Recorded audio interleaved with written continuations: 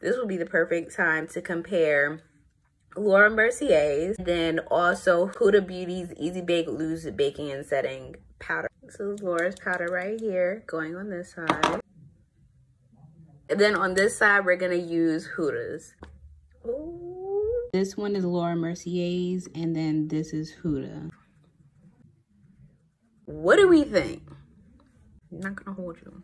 kind of look the same trimmer. I feel like I'm gonna gravitate towards the Huda because I do like this pigment better. But on my face, it's looking kind of the same. Like, babes, we got a tie. Hmm. I will say that my makeup looks good regardless. Which one did you guys like better? I think they both perform about the same. And I can't be mad. Like and follow me for more.